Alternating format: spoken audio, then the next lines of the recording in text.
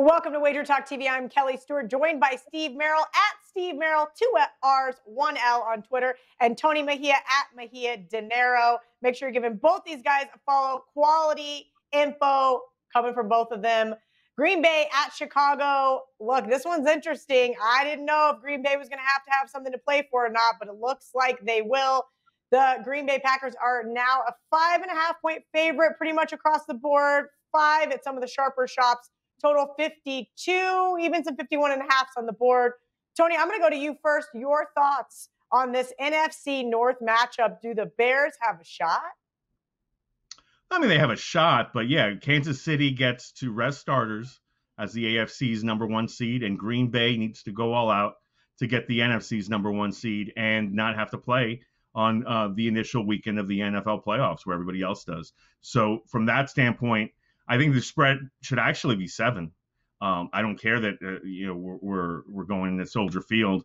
The motivation and the fact that Green Bay is significantly the better football team uh, really g- gives me a little trepidation into why this is at five, five and a half, and I, I assume it'll creep into six, six and a half, seven territory uh, when public money comes in, and obviously you rarely want to be involved with public money uh, when everybody's on one side. But I don't see a way that you can justify saying, I like the Bears here. I mean, Mitchell Trubisky has done a really nice job over the last few weeks. Uh, Montgomery has caught fire, but they just come off a victory against a team that wanted to lose. Their fans were legitimately out there cheering uh, when the Jaguars got further and further behind.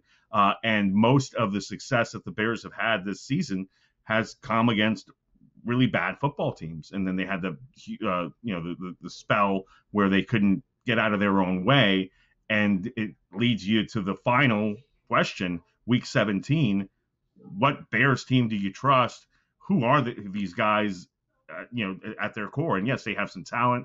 Obviously, Khalil Mack, and uh, you know, front. I, I think you like what the Bears do on the defensive front. On the offensive front, it's a really bad offensive line, and ultimately, Mitchell Trubisky is your quarterback and you're going up against Aaron Rodgers and Davante Adams, who has you know nobody has been able to stop despite double teams, despite anything that you want to do to that.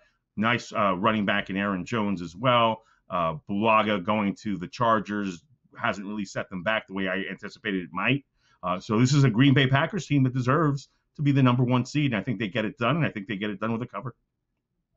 Yeah, Tony, I, am with you. Look, I love betting divisional underdogs, particularly at home the Bears I have circled on my long list. I just don't know if they can step up in competition here. Steve, your thoughts on this matchup? And do you think the Bears have a shot here? I know that Tony said he made the game seven. Yeah, I'll give you, uh, Tony, something to think about here while they maybe do have a shot, and that is Mitchell Trubisky being back at quarterback. You know, who would have thought you'd rather have Trubisky than Super Bowl champ Nick Foles? But um, it's been night and day if you look at the results for the Bears this year at the two quarterbacks. Now, I will say that they played a tougher schedule with Foles. As Tony said, they've been beaten up on weaker teams, and Trubisky's been the starter for many of those games. But the Bears are still six and two straight up with Trubisky, and they were just two and five straight up with Foles this year. His first game back was that Chicago blowout loss against Green Bay on the road five weeks ago. Uh, but the Bears still moved the ball offensively in that game. They just couldn't stop the Packers. So that's why I think the safer play here is actually the over. Now, unfortunately, when I used this on Tuesday afternoon on the Wager Talk Today show, it was 50 and a half. And I mentioned how 51 is such a key number. It's now, as you said, Kelly, 51 and a half, 52. So we've crossed over that key number of 51 early in the week already. Um, but I still think the over is the right play here. That was sharp money that pushed it over on Tuesday afternoon. Um, and I still agree with that move. Both these offenses, I think, can move the ball. And the biggest thing that jumped out to me when I was running the numbers on the two quarterbacks, Foles was one and six under to the under. Six of his went under, 37 and a half points a game. Trubisky's eight starts, six and two to the over, 53 and a half total points a game. And um, that's been the difference has been the quarterbacks. And that's why Chicago has won three in a row here. And that's why they're back in playoff contention.